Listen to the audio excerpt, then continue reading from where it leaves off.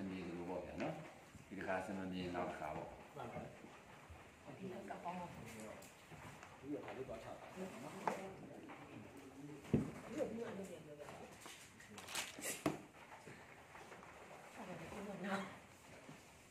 ့တော့တပည့်တော်တို့ရတဲ့ဟာလေးအရင်သွားအောင်ပထမတပည့်တော်32ခုထာတာပေါင်းတယ်လို့တွေ့တယ်အဲ့ဒီဟာလေးကိုအရင်ကူးတာအရင်ကူးတဲ့ဟာကမိတ်တူမဆွဲဘူး print အရင်ထုတ်လိုက်တယ် မိတ်တူမဆွဲဘူးအဲ့ဒါလေးထုတ်လိုက်အဲ့ဒါလေးနဲ့ကိုအဆင်ပြေတယ်ဒီဓာတွေကများသွားတော့ဘုရားရှင်များတို့ဒီဟာလေးကြည့်ကြပါဗျာနော်နောက်ပြီးတော့တစုံစီရအောင်ကူပြီးတော့အခုလောလောဆယ်မီးပြတ်သွားတယ်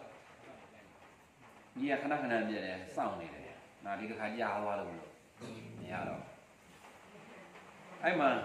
ပြောလို့ဖတ်ကြည့်လိုက်ပါဗျာအင်္ဂလိပ်လိုဟာရှင်ဘုရားတို့ဒီဆယ်တန်းအောင်နေလဲပါတယ်နော် ဘွဲရည်လည်းပါမှာပါဗျာတခါကြီးဘွဲရဝင်ဝင်းတော့ဘွဲဟုတ်လားအဲဝင်ဝင်းတော့ဘွဲတော့ရတယ်မလားအေးဟုတ်ပြီအဲ့ဒါဆိုရင်မစိုးပါဘူးနော်ဘာဘွဲရရတဘွဲရကိုရေးကြည့်တာအဲ့မှာဖတ်ကြည့်လိုက်တော့ the cycle of dependent origination 12 links အရှင်များဟိုထဲရပါပဲ12 links ဆိုတာဘာကိုပြောတာလဲ ဘာ12ပါးရှိလဲအင်္ဂါစနပါအင်္ဂါအဲ့အဲ့အင်္ဂါ12ပါးပဲ12 link ဆိုတာအင်္ဂါ12ပါးအင်္ဂါ12ပါးအရှင်များတို့မြန်မာလိုအင်ပါဠိလိုရေးကြည့်တယ်မဟုတ်ဝိသာ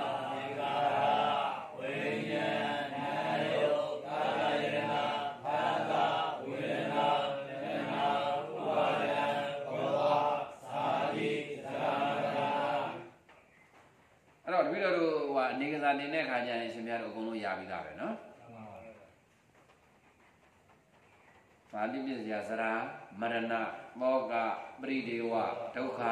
ဒေါမနဥပါယတာဒေါမနတာနဲ့ဥပါယတာအဲ့မှာကြည့်လိုက်ပါဗျာအဝိဇ္ဇာဆိုတာအပေါ်ဆုံးဟာ ignorance ကိုပြောတာပဲပါဠိလိုအဝိဇ္ဇာအင်္ဂလိပ်လို ignorance ignorance ignorance ဆိုတာ အင်္ဂလိပ်လိုပြောတာပေါ့မြန်မာလိုကြတော့ပါဠိလိုအဝိဇ္ဇာပဲအဲ့တော့အဝိဇ္ဇာဆိုတာတကယ်တော့ကပါဠိကနေယူပြောတာမြန်မာလိုကြတော့ဒီတော့ဟုတ်တယ်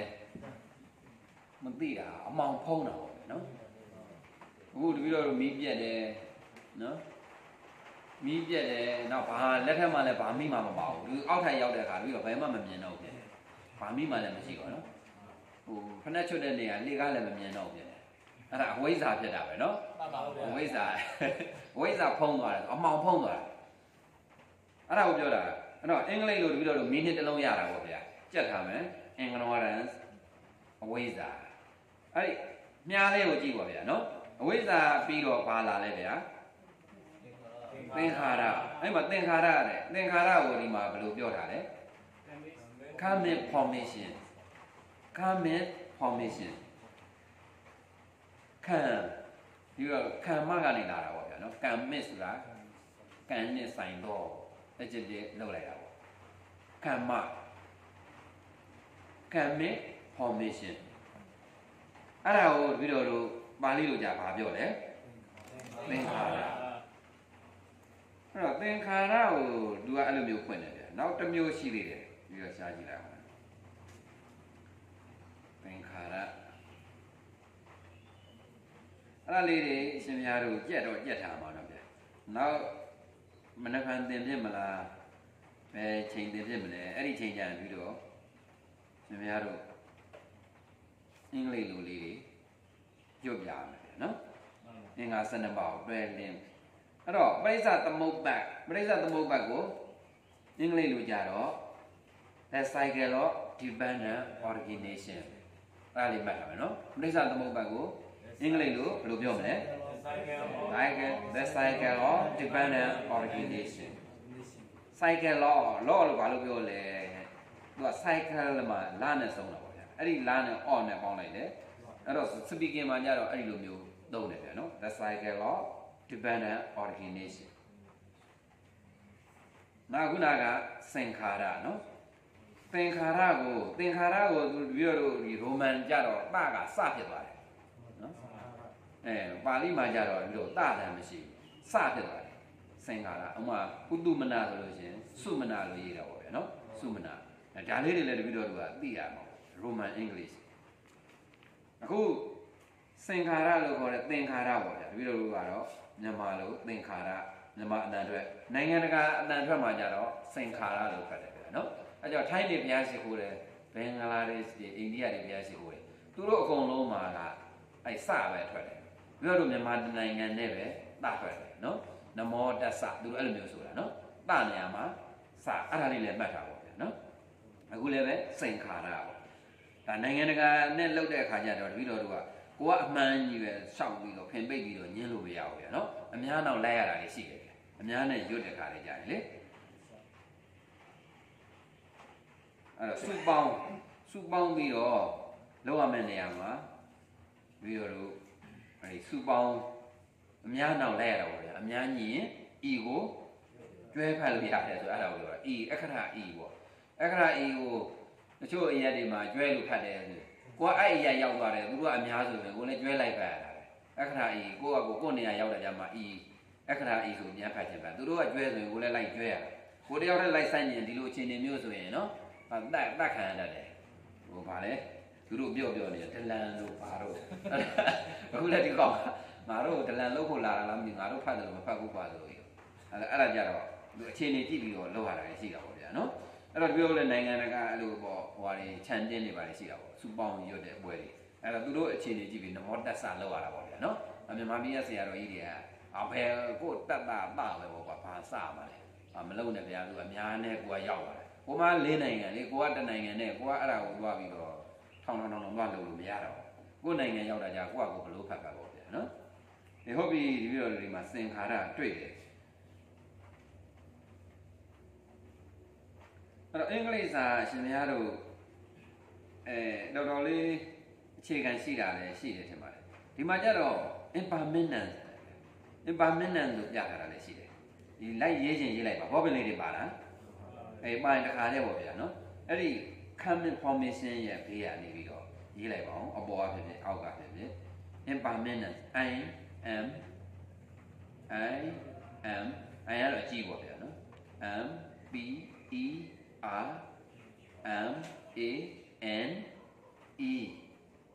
n c e ပြန်ပြော impermanence ဟုတ်တယ်ပြန်ပြောမယ်ဗျာ i m p e r m a n e n c e မိပါတယ်တော့ဗျာနော်မိပါတယ်အေးရှင်များတော့ပိုးတော့မြန်လာပါစင်္ခါရအဲ့ဒါ impermanence impermanence ဆိုတာဘာကိုပြောတာလဲဆိုရင်အခါပြီးတော့သူ့ရဲ့ definition ကိုပြန်ကြည့်မယ်ဆိုရင် permanent ဆိုတာမြဲတာ impermanent ဆိုတာမမြဲတာပြောမယ်ဆိုအနိစ္စကိုလည်းပဲ impermanence လို့ပြောတဲ့နေရာမှာတွေ့လိမ့်မယ်ရှိမယ်နော် ဒါနောက်တွေ့တဲ့ခါကျရင်ခု impermanence လို့မှတ်ထားပါဗျအဲ့တော့နှစ်ခုရတယ်ပေါ့ဗျာ common formation နဲ့ impermanence နော်ဒါမျိုးလေးအဲ့တော့အဝိဇ္ဇာပစ္စယသင်္ခါရသင်္ခါရပစ္စယပြီးတော့ဘာလာလဲဗျဝိညာဏဝိညာဏကိုပါဠိလိုဝိညာဏကိုအင်္ဂလိပ်လိုကြတော့ဘယ်လိုပြောလဲ consciousness consciousness ဗျာအတန်ထွက်ကြည့်အောင်ဗျာ consciousness ဒီအတန်ထွက်ကအဲ့လိုမျိုးအင်္ဂလိပ်စာကသူများဘာသာတိုင်းပေါ့ဗျာဘယ်ဘာသာမဆိုအတန်ထွက်ကပြီးတော့လို့ရှက်နေကြောက်နေလို့မရအောင်ဟုတ်ဟုတ်မဟုတ်မှန်မှန်မှန်မှန်မှန်ထွက်ပြရတာပေါ့ဗျာနော် consciousness အဲ့ဒါအရှင်များတို့မကြားခြင်းလဲကြားကြားခြင်းလဲကြားနေရဘာတုံးဆိုတော့ဒီလိုလိုပါဠိစာပေမှာဒီဝိညာဉ်တွေကတွေ့နေရပါနောက် consciousness ကစိတ်ကိုလည်းပဲ consciousness လို့သုံးနေတယ်ဗျာ နော်အဲ့ဒါလည်းမှတ်တာပေါ့ကစိတ်ကစိတ်တာပြီးတော့ mind ဆို M I N D mind ဆိုတာလည်းရှိတယ်အဲစိတ်ပဲသုံးတာပဲတခါလေကျရင်သူက consciousness လို့သုံးပါပဲဗျာအဲ့တော့ဝိညာဉ်ကြီးပဲကိုကပုံသေးမှတ်လို့မရဘူးစိတ်ကိုလည်းပဲတခါလေ consciousness လို့သုံးတယ်မှတ်တာပါဗျာနော်အဲ့ဒါပြီးတော့အခုအောက်မှာလာပါပြီဗျာဝိညာဏပစ္စယပြီးတော့ပါလာလဲနာမရူပဟုတ်ပြီနာမနဲ့ရူပနှစ်ခုပြထားတယ်နာမနာမ်ကို မိုင်းလို့ပြတယ်ပေါ့ဗျာမတ္တရူပရူပရုပ်ကိုကြတော့မတ္ထဒီလိုမျိုးပြအဲ့တော့နာမရူပနာမနဲ့ရူပ mind နဲ့ matter ကဲအတန်လေးဖတ်ကြည့်ပါဦး mind and matter ဟုတ်တယ် mind and matter အဲ့အဲ့အလဲကောင်ကဟာလေးကအကွေးလေးကသူက AND and ဆိုတဲ့ဟာလေးကိုပြောတာပေါ့ဗျာနော် mind ဆိုတာစိတ် and ပြီးတော့ matter ရုပ်ပါလို့ပြောတာပေါ့အဲ့တော့ mind and matter အတန်ထွက်ကြအဲ့လိုမျိုးထွက်တယ် and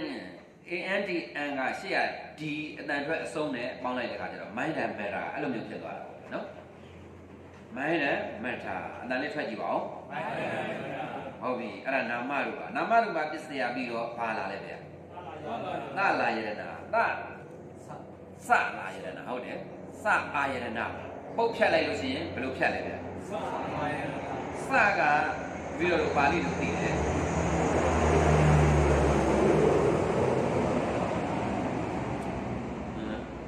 ဟိုနေ့ကဟိုနေ့ကလင်းပြက်ကြတော့ဒီလိုမျိုးဖြတ်သွားပြီဆိုရင်ကိုယ့်ပေါ်မှာပြက်ကြမလားဆိုပြီးတော့နော်ကိုနေ့ကပြင်ဦးလွင်မှာလင်းပြက်ကြတာကြားလိုက်တာပြောလို့ဈေးကုန်းဆရာတော်ကြီးပါသွားတယ်နော်မဟာဝိတုဒ္ဒရာမှာအဲ့ဒီမှာအလူရှင်တထဲဆိုတာတပည့်တော်တို့ ਨੇ ဆက်ဆက်ရှိတယ်ပေါ့ဗျာတပည့်တော်ပေးလင်းမှာနေကြတော့သူကပေးလင်းဆက်တယ် ရွှေရွှေတူးတဲ့တထဲအဲ့တော့သူ့ရဲ့ညီဟုတ်တယ်သူ့ရဲ့ညီကတပည့်တော်တက္ကမရဲ့သမီးနဲ့ရတာတပည့်တော်တက္ကမရဲ့တမက်နော်အဲ့လိုမျိုးသွားဆက်တာသူ့ညီဆုံးတဲ့ရက်လည်နေ့မှာသူကအလင်းပြက်ကြတာအကိုကရက်လည်တဲ့နေ့ပဲအဲပြီးတော့လည်းဆုံးတာမသိဘူးကတပြင်းဖုံးနှက်ဆက်မှာအဲလိုဆုံးသွားတယ်လို့နှက်ဖုံးဆက်တော့ အဲ့လိုပဲသူအကန်အားဆိုးနေတယ်တဲ့ကိုသူညီရရက်လည်မှာအကိုကအဲ့မှာနေပြီးအဝါမှာနေဦးလည်းမှာသူတို့ကလူတာပြောတယ်အလူရှင်ညီရရက်လည်ကိုမလာပဲနဲ့အဲ့ဒီကိုသွားတာစင်လုံးငါလို့ပြောတယ်သူကတက်မတော်လေရင်ဆိုရင်မဲ့သူပတ်စံတော့ပေးရပုံပေါ်တယ်ဈေးကုန်းဆရာတော်ကြီးလည်းပါတော့လိုက်တော့ပေးတယ်ဒါပေမဲ့ပတ်စံပေးရတယ်စင်လုံးငှပါတာပြောနော်အဲ့တော့ညီကိုနှစ်ယောက်ရက်လေတဲ့နေမှာသွားကြတာပေါ့ဗျာနော်အေး ဒါထားပါအဲ့တော့ကိုယ့်ပေါ်အဲ့လိုလင်းဟောပြီးပြီဆိုသိစိတ်မချတော့ဖြစ်နေပြောမရအောင်နော်သူကပြေးလန်းမှားတယ်လို့ပြောတယ်ဗျာမောင်းနေလို့ရှိရင်ပြောင်ပြောင်ပြောင်ပြောင်တဲ့နေရာတွေကိုလမ်းလို့ထင်လားမသိဘူးနော်အချက်ပြအချက်ပြ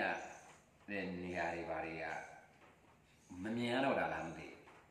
ပြီးတော့အဲ့လိုဘောဓခရမှာနေတော့တစ်ခါလေမဖះဘူးလေနေဟောမှာမကြောက်ခရမှာမကြနဲ့ ဘာလို့အဲ့စောင်းနေပေါ့မြူတွေကအားဆိုင်နေလို့ဘာမှမမြင်အောင်သူနှင်းခွဲမီးလို့ပါလို့ရှိတယ်သူကနှင်းခွဲမီးကလည်းကားနဲ့ဘာမှသိမ့်မပြေးနိုင်ကားတွေလည်းဘေးရက်ထားတော့ဟိုဖះဘူးသွားနေတဲ့ကားတွေလည်းလမ်းဘေးမှာထိုးထားတော့ဘာရှေ့ဘာမှမမြင်တော့ဘူးအဲ့အချိန်မှာ accident တွေတားဖြစ်တယ်အဲ့လေနေအဲ့မှာမစင်းနိုင်တော့တဲ့ကဘယ်သွားစင်ဟိုကာလာကတာမြူရှင်းတဲ့နိုင်ငံဟိုဟာမြို့ကိုသွားစင်ရစင်းပြီးအဲ့ဒီကနေတခါကားတွေနဲ့တခါပြန်ကက်ဟိုခီးစဉ်ဆွဲထားတဲ့အတိုင်းမဖြစ်တော့ဘူးပေါ့ဗျာနော်အဲ့ဒီနေရာ ဘယ်နေရာသွားမယ်ဘယ်နေရာသွားမယ်မရောက်တော့ဘူးဟိုမှာကာလာကတာတွေသွားကြည့်ရတာပေါ့နော်အဲ့မျိုးလေးတွေကတိကောင်းတယ်ရာသီဥတုမကောင်းရင်လေရင်စီးရတာအနေတော့များတယ်နော်အဲ့တော့ရာသီဥတုကြည်လင်မှလေရင်စီးကြဆင်ကြတယ်နော်ဟောကြတာဟောပြည့်နေတယ်အဲဟုတ်ပြီခုသလာယရဏစအာယရဏစကဘယ်နှခုလဲဗျာ6ခုအဲ့ဒါကိုပဲဒီမှာအင်္ဂလိပ်လိုစကို six လို့ဖွင့်တာပေါ့နော်အာယရဏကိုဘယ်လိုဖွင့်လိုက်လဲ since basis since basis နော်အဲ့တော့ since since basis အဲ့ဒါကိုစလာယရဏစအာယရဏပဲအဲ့တော့ဒါလေးတွေကအင်္ဂလိပ်လိုရှင်များတို့ဒါကြက်ထားပါဗျာအတန်ထွက်ကြည့်ပါဦး since since basis sit sit မှာတပည့်တော်လို့ ph ph ပါတယ်အဲ့ဒါတပည့်တော်သေချာပြန်မကြည့်ပြလို့ဗျာမကြည့်ပြလို့ ph ပါနေတယ်နော် အမှန်တော့ဒီဥစ္စာကတပည့်တော်လို့ဘယ်လိုမှသုံးလဲဆိုရင်သူက6ခုမြောက်လို့မြောက်ဆိုတဲ့တပည့်တော်ပဋ္ဌာန်းပွဲတွေရေးတယ်မို့လားဗျာ5ကြိမ်မြောက်6ကြိမ်မြောက်အဲ့ဒီအမြောက်ဆိုတဲ့အဓိပ္ပာယ်ရတယ်ဒီ ph ကအဲ့တော့ဒီဥစ္စာက6ခုမြောက်တင်ယူမှာမဟုတ်ဘူးအာယရဏ6ပါးလုံးကိုယူမှာဖြစ်တဲ့အတွက်ဒီ pH မပါနိုင်ဘူးပေါ့ဗျာနော်ဒါတပည့်တော့သေချာတော့ပြန်မကြည့်ရသေးဘူးရှင်မရတို့လည်းနည်းနည်းလေးဒါဟောပြုအောင်လို့စဉ်းစားလို့ရအောင်လို့ပေါ့ဗျာအဲ့ဒါလေးကိုနည်းနည်းလေးမှတ်ထားပါတပည့်တော့အထင်ကတော့ pH မပါနိုင်ဘူး ဟောဒါလည်းတပည့်တော့ဟိုဒီလိုက်ရှင်ဘယ်နိုင်ငံဆရာလေးကိုမသိဘူးတပါးအဲဒီသူဟွာရေးထားတာအဲဆီမီနာတွေမှာစာရန်ဖတ်ပွဲတွေအတွက်ရေးထားတဲ့ဟာလေးအဲ့ဒါလေးကိုတပည့်တော့အဆင်ပြေတယ်ဆိုပြီးတော့ဟိုစတက်ထဲကိုထဲစတက်ထဲကနေပြီးတော့ခုဒီရေတို့ရောက်လာကြမှာဟိုကပမာရေတို့ရှင်များတို့ဆုံးခံထွက်ပြီလားမသိဖတ်ပြပါဦးဟောအေးအဲ့ရွာကင်ရေတို့ကမိတ်လူဆိုင်ပါဝင်းဆွဲခဲ့တာဖုံးဆက်တယ်မိတ်ဟိုကမီးလာလာလာတယ်ဆိုတော့အဆင်ပြေပြီဆို အမှပြီးတော့မသိသေးဘူးခဏခဏပြက်နေတာနော်အစိုးရလာတာပြီးတော့စွန့်စားပြီးကြတဲ့ထွက်လာအဲ့ဆိုင်ရောက်တယ်ဒီဟာတွေဆွဲကြရှိတယ်ဆိုပြီးတော့နော်အဲရှင်များတို့စောင့်ရတာဟိုတော့လည်းအစီဖွင့်ဖွင့်နေတော့လည်းစောင့်ရတယ်နော်ညင်းစဲသလိုဖြစ်နေပြီနော်အဲဒါကြောင့်မထူးတော့ကြလို့ပြီးတော့ပဲပြီးလိုက်တော့သွားမယ်ဆိုပြီးတော့လာလိုက်တာနောက်အခုအပြန်ညရင်ပြီးရင်ပြီးတော့ဝင်ယူလိုက်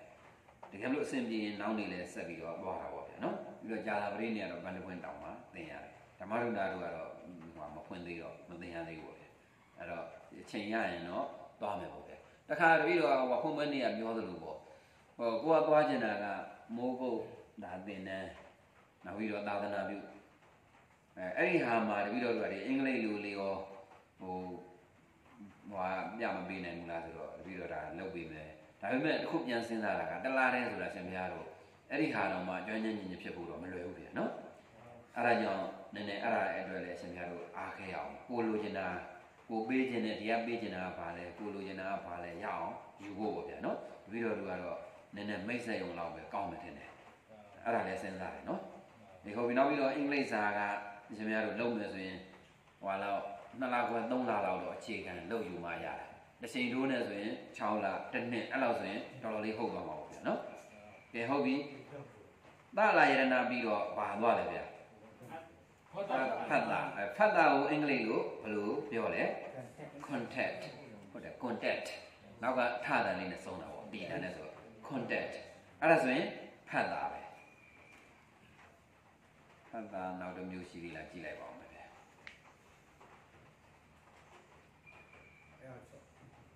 ဖတ်စာ contact အဲရှိရတော့ရှိတယ်ဗျာရှိတယ်မှတ်ချင်မှတ်တာပေါ့ဗျာရှင်ဗျာ contact ကပထမဆုံးတွေ့တယ်နောက်ပြီးတော့ touch T O U C H touch ဒါကတော့ထိတာကန်တာတွေ့တာအဲ့ဒီဟာတွေကိုလည်း touch လို့သုံးပါတယ်ဒီမှာသူကဖတ်စာကိုဖတ်စာကိုနောက်တစ်ပြုတ်ဖွင့်တဲ့ခါကျတော့ touch လို့သုံးတယ်နောက်ပြီးတော့တစ်ခါနောက်တစ်မျိုးထပ်သုံးတယ်သူက sense impression sense impression ဆိုပြီးတော့သုံးသေးတယ်မှတ်ချင်မှတ်တာပါ S E N S E sense ပေါ့ sense impression I M P R E S S I O N sense impression အဲ့ဒါလည်းပဲဖတ်စာအနေနဲ့သုံးတယ်ဒါကသူများသုံးတဲ့အခါကိုကသိအောင်ပေါ့ဗျာနော်ကိုရတာကတော့ကိုသုံးမယ်ဆိုရင်ကိုပိုင်တဲ့ဟာ contact ကိုသုံးသုံးရတယ် touch ကိုသုံးသုံးရတယ် sense impression သူများသုံးရင်လည်းသိအောင် ရလာတယ်မိလားဒီရှင်များတို့အာ white board တပြီးတော့မေးသေးတယ် white board မရှိတော့မရှိဘူးလေလူအဲ့ရင်တော့ဝယ်မှာပေါ့ဝယ်မှာဆိုတော့တပြီးတော့လည်းမပြောတော့ဘူးလူလည်းပတ်သက်ရှိလားမရှိလားလဲမသိဘူးကွာနော်အဲ့တော့သုံးမျိုးလောက်သိတော့အဆင်ပြေတာပေါ့ဗျာ contact touch sense impression နော် sense impression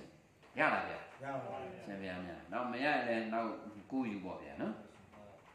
ဟုတ်ရဲ့အဲ့တော့ဖတ်တာပြီးတော့ဖတ်တာပစ္စယဝေဒနာဝေဒနာကတော့ ရှင်းပါလားဗျာ feelings ခံစားမှုပဲနော် feelings အဲ့တော့အဲ့ဒါဝေဒနာပါတဲ့အတန်ထွက်ကြည့်ပါဦးဗျာ feelings ဟုတ်တယ်နောက်က s ပါတယ် feelings နော်ဟုတ်ပြီဒါကတော့အဲ့ဒီဟာနဲ့ပြည့်စုံပါတယ် feelings ဝေဒနာပဲဝေဒနာပြည့်စရာပြီးတော့တဏှာကိုဘယ်လိုဖွင့်လိုက်လဲ cravings လို့ဖွင့်တယ်ဗျာ cravings နော် cravings cravings အတန်ထွက်ကြည့်ပါဦးဗျာဟုတ်ပြီ အဲ့တော့အတန်လေးတွေတော့ထွက်ကြည့်ပါဗျာနောက်ဆုံးဟိုကိုယ့်နေရာရောက်လို့မကြည့်ပြတောင်မှဒီနေရာလေးမှာအတန်ထွက်လိုက်တော့ကြာဘူးနောက်ပါပါဇက်ကလည်းထွက်ခုသွားတာပါဗျာနော်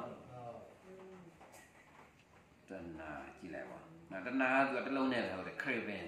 ဟုတ်ပြီအဲ့လောက်သိရင်ရတယ်အဲ့တော့တဏှာပြစ်စရာပြီးတော့ဥပါဒာဥပါဒါနာဥပါဒါနာကိုအင်္ဂလိပ်လိုကြတော့ဘယ်လိုဖွင့်လဲ clinging ဒီကစီရကတယ်ဆိုတာဗျ clinging clinging cling cling ဆိုတာသူကကတ်တာညှိတာ clinging ပေါ့ဗျာနော်နောင်ဖို့ယူတဲ့ခါကျတော့ clinging ဥပါဒံတဲ့မြန်မာလိုကြတော့ဘယ်လိုပြောလဲဗျဟုတ်တယ်ဆွဲလန်းတာကတ်ညှိတာကတ်တွဲတာပေါ့ဗျာနော်အဲ့ဒါ clinging ဒါလည်းပဲဥပါဒါနာလည်းပဲဒီတစ်လုံးပဲရှိတယ် clinging အဲ့တော့တစ်လုံးနဲ့ရှိတဲ့ဟာကြတော့အမှတ်ရတာလွယ်တာပေါ့ဗျာအဲ့ဒါဥပါဒါနာပြစ်စရာပြီးတော့ဘာလာလဲဘဝဘဝဩ နော်ဘဝကိုဘယ်လိုပြောလဲသူကခံပြီး becoming ခံ becoming ဘဝအဲ့တော့ဘဝဆိုတဲ့မြန်မာလူအဓိပ္ပာယ်ကဘာလဲပြုလုပ်တာတော့ပြုလို့အားထုတ်တာလို့အထုတာကိုဘဝဒီဖေးရဟုတ်လားကာမဘောပြုလုပ်အားကမ္မဘောနဲ့တွဲဆိုတာကဟဲ့လားကမ္မဘဝအော်ကအိမ္မ်မဟုတ်ပြီဘောဆိုတော့ပြုလို့အထုတ်တော့ခေါ်ရတယ်ဗျာ အဲ့အဲ့တော့တော့ဒီဒီလိုလိုလိုလိုက်က်တာတာပဲအဲ့ဒါချက်ကိုပိတ်တာဗျာအဲ့ဒါဟဲ့လားဟောအိမ်ဟုတ်ပြီဘဝကိုသူက becoming လို့ဖွင့်တယ်တော့ဗျာဒီဒီဆရာလေးကနော်အဲ့တော့တပည့်တော်တို့ဒီမှာဒါကသာသနာရေးကထုတ်တဲ့ဒါအပိဓာန်ပေါ့ဗျာနော်အဲ့ဒီမှာကြတော့သူက existence existence e h ရေးလိုက်ပါဦးဗျာ e h i s t e n c e existence e h i s t e n c e existence existence ကလည်းသူကတည်ရှိနေတယ်ဆိုတဲ့အဓိပ္ပာယ်ပေါ့ဗျာနော်တည်ရှိနေတယ်တည်ရှိနေခြင်းဘဝအဲ့တော့နှစ်ခုရတာပေါ့ becoming ရယ် existence သူက become သူကဖြစ်လာတာနော် become ကနေလာတာ become ခံဖေးသူကဟုတ်တယ် become became become becoming ဟုတ်တယ်ဘာနှလုံးလေးလုံးကျက်နော်ပြီးတော့ grammar သင်ပေးအဲ့လိုမျိုးလေးတွေသိတယ်အဲ့တော့ become ဖြစ်လာသည်ပေါ့ he become rich သူကချမ်းသာလာတယ်သူကတစ်ဖြည်းတစ်ဖြည်းချမ်းသာလာတစ်ဖြည်းတစ်ဖြည်းဖြစ်လာတာဆိုရင်သူက become နဲ့သုံးတာပေါ့ he is a rich သူကချမ်းသာတယ်ဆိုတာသူကမွေရလို့ချမ်းသာတာဖြစ်ဖြစ်ဖြစ်ပဲမွေးကလေးကမိဘကချမ်းသာလို့ချမ်းသာလာတာဖြစ်ဖြစ်ဖြစ်မှာပေါ့အဲ့ဒါကြတော့ he is is သုံးတာပေါ့ he become he becomes rich ဆိုလို့ရှိရင်သူကသူကြိုးစားအားထုတ်မှုနဲ့တဖြည်းဖြည်းချင်းချမ်းသာလာတာပေါ့ဗျာနော်စုပြီးတော့အလုပ်လုပ်ပြီးတော့ကြိုးစားပြီးတော့အဲ့တော့တဖြည်းဖြည်းချင်းဖြစ်လာတဲ့သဘောကို become နော်အင်္ဂလိပ်စာရဲ့အရင်းမြစ်ကိုလိုက်တဲ့အခါကျတော့ သူအဲ့ဒါမျိုးလေးတွေအသုံးရှိတဲ့အခါကျတော့ဒီဥစ္စာလည်းဖြစ်ဖြစ်လာတာပေါ့သူကဘဝတစ်ခုကနေပြီးတော့တဖြည်းဖြည်းချင်းဖြစ်လာတာပေါ့ဗျာဒီလိုမျိုးကြီးဇက်တိုက်ကြီးမဟုတ်ဘူးဇက်တိုက်ကြီးမဟုတ်ဘူးဆိုတာဂျားထဲမှာဘာတွေခံလဲဒါတပြီးတော့လူဘဝအနေနဲ့ပြောမယ်ဆိုရင်ဂျားထဲမှာတပြီးတော့တိဋ္ဌာန်တွေဘုံဘဝတွေရောက်ရင်ရောက်သွားမှာပေါ့ဗျာနော်ကာမတုဂ္ဂတိခုနှစ်ဘုံအဲ့လိုမျိုးတွေဖြစ်ပြီးရကြမှာလူဘဝကိုတခါအိုက်ကန်တွေကုန်တဲ့အခါကျတော့လူဘုံကိုပြန်လာတယ်အဲ့ဒီဟာကိုသုံးကျင်လို့လို့သူကပီကမ်မင်းလို့သုံးတာပေါ့ဗျာနော်အဲ့ လူသေးလူဖြစ်တဲ့ဝုံကနေဝုံကနေဖြစ်တာမဟုတ်ဘူးဗျာနော်အဲ့ဒီသဘောမျိုးဖြည်းဖြည်းချင်းဖြစ်လာတယ်သူ့ရဲ့ဖြစ်စဉ်အတိုင်းဖြစ်လာတယ်ဆိုတဲ့အတိတ်ပဲပေါ့နောက်ပြီးတော့ဒီစက်ဝိုင်းနဲ့ကြည့်မယ်ဆိုလို့ရှိရင်လည်းပဲဒီဘဝဖြစ်ဖို့အတွက်ပြီးတော့ဟိုမှာ ignorance ကနေပြီးတော့လဲလဲလဲလဲလာဖြည်းဖြည်းချင်းအစစ်နေခန်းလာတယ်အဲ့အစစ်နေကြောလာပြီးတာကြမှာ becoming လို့ခေါ်တဲ့ဘဝကိုရလာတယ်ဆိုတဲ့အတိတ်ပဲပေါ့အဲ့တော့ဘဝပစ္စယဘာဖြစ်မလဲဇာတိ ဇာတိဇာတိကြတော့ဘာပြောလိုက်လဲအင်္ဂလိပ်လိုက bath bath လို့ခေါ်တယ် bath နောက်က th ကတန်တယ်လေးထွက်တယ် bath နော် bath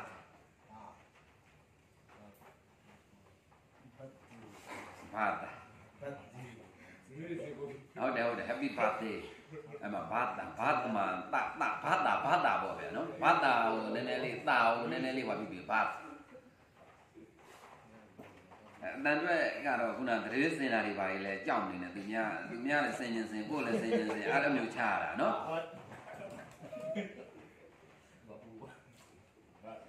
ဇာတိအဲ့ဒါဘယ်လိုရှိသေးလဲကြည့်လိုက်အောင်ပါဗျာ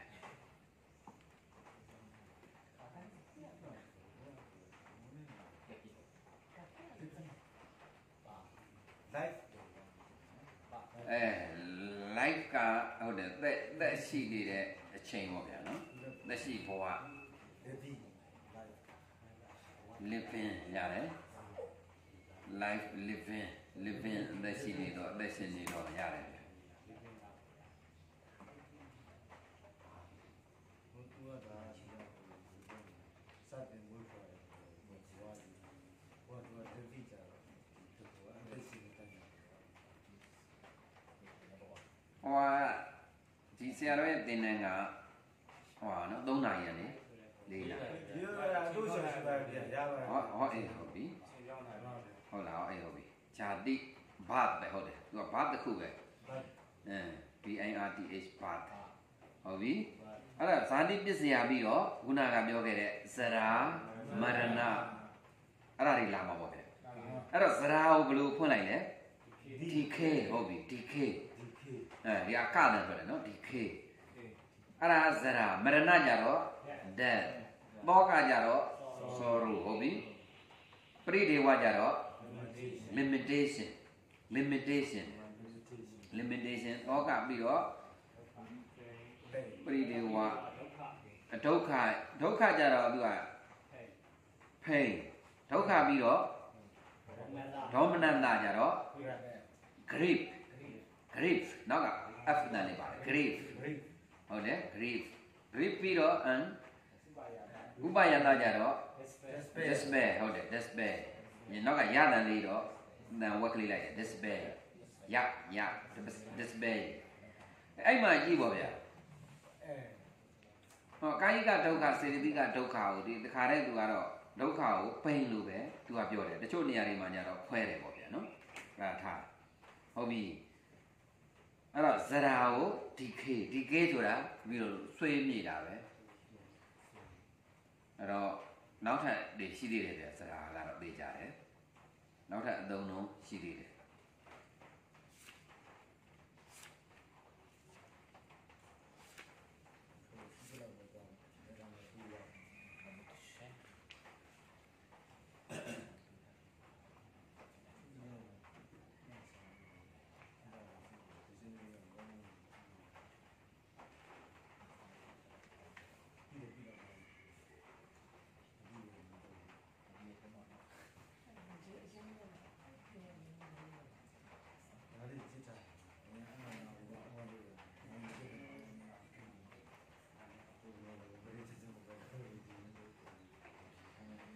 ဂျရာကို OH လို့သုံးတယ်ဗျာနော် O OLD O ကတော့အရှင်များတွေ့ပြီးသားပဲ AG H ကလည်းအသက်ကိုတွေ့ပြီးသား O မင်းနေတော့အသက်သူဟာသူကတော့ပို့ပြီးတော့ရှင်းတာပေါ့ OH OLD O AG H OH ဒီလိုလဲသုံးတယ်ပေါ့ဗျာနော်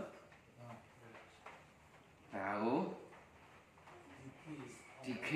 ရိုက်တဲ့ဟာသုံးပေါ့ဗျာနော်ဒါ O တာကိုသုံးတယ်ဆွေးမြေ့တယ်ယိုရင်းတယ်ပျက်စီးတယ်ပေါ့ဗျာနော် that sorrow limitation pain grief and despair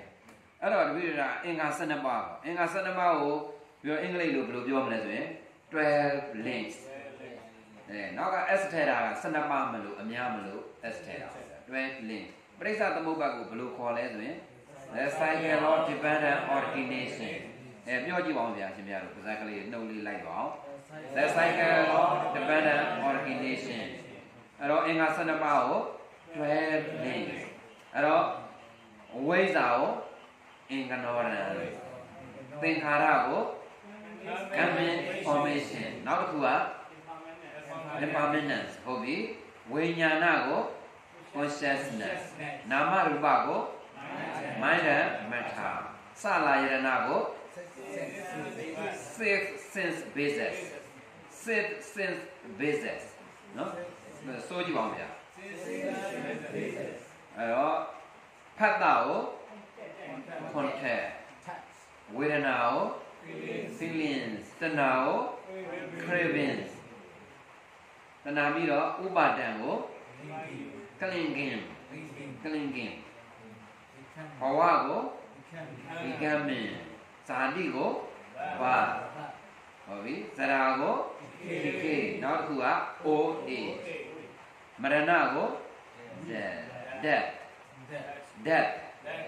နောက်ကတတယ်ပါလိမ့်ရပဲ death ဟုတ်ပြီတော့တော့ဘာဘာပြီးတော့ဗါတယ်စောတော့ဗါတယ်လေတော့ကဟုတ်တယ်တော့ကကိုသူစကတတ်မထွက်ဘူးတော့ကကိုစောတော့ပရိဒေဝကို limitation ပရိဒေဝပြီးတော့ဒုက္ခဒေါမနတ grief ဥပယတာကို despair despair ဟုတ်ပြီ despair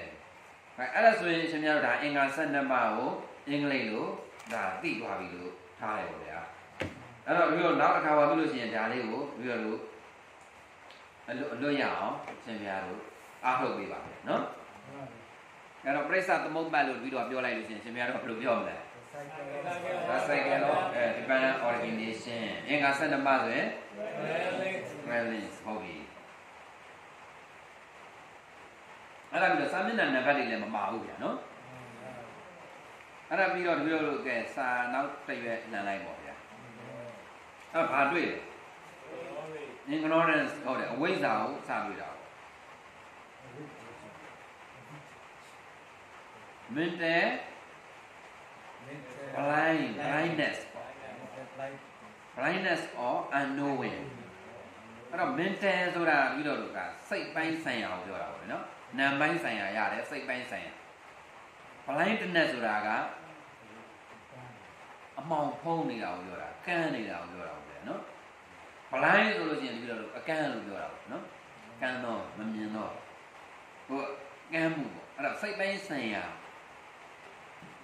အသိဉာဏ်မိုင်မဲမှုတွေ့ဝေမှုဖုံးလွှမ်းမှုပေါ့အကုန်လုံးရတယ်ပေါ့ဗျာနော်အဲ့တော့ စိတ်ပိုင်းဆိုင်ရာမသိမမြင်မှုကိုပြောတာပဲဗျာနော်အဲ့တော့မောဟဖုံးလွှမ်းနေတာကိုပြောတာပါပဲအဝိဇ္ဇာအသိဉာဏ်မရှိတာကိုပြောတာပါအသိဉာဏ်ကန်းနေတယ်ဆိုတော့အသိဉာဏ်မဲ့တာအသိဉာဏ်မရှိတာကိုပြောတာပါအဲ့ဒါကိုထပ်ဖွင့်တယ်အန်နိုဝင်းဆိုတော့မသိခြင်းပါပဲနိုဝင်းဆိုတာသိခြင်းပဲ no k n o w no သိသိဆိုတဲ့ကရိယာကနေပြီးတော့အန်ကြီးပေါင်းလိုက်တဲ့အခါကျတော့ နောင်ပုတ်ရတယ်နိုဝင်သိချင်းအဲ့ဒါမှရှေ့ရနေပြီးတော့ UN ထည့်လိုက်တဲ့ခါကျတော့ပြီးတော့ပရိသေတာအဲတားပေးလိုက်တာပဲနော်အဲ့တော့မသိချင်းပြန်ဖြစ်သွားတယ်နော်နောက်ပြီးတော့နောက်ကထပ်ဖွင့်တယ် non penetration penetration penetration ဆိုတာထိုးထွင်းသိမြင်ခြင်းကိုပြောတာ penetration ဆိုတာထိုးထွင်းသိမြင်ခြင်း